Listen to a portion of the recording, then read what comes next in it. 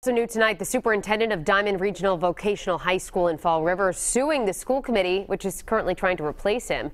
According to court documents, Thomas Aubin and the 11 other plaintiffs want to nullify a vote the committee took on December 6th not to renew the superintendent's contract. The suit claims the committee violated Massachusetts open meeting law by deliberating during three executive sessions in which Aubin was not included.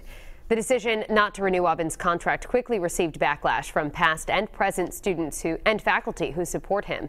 The school committee will hold a meeting on Friday to formally appoint an attorney to defend them in the lawsuit. Coming up now.